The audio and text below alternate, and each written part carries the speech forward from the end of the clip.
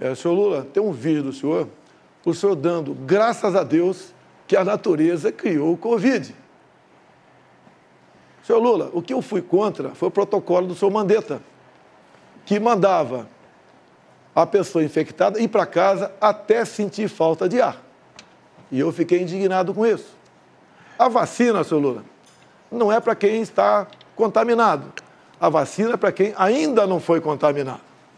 A questão do tratamento precoce, tendo ou não comprovação científica, porque era algo inédito no mundo todo, tirou-se a autonomia do médico, a tal da receita off-label. Isso que foi castrado no Brasil.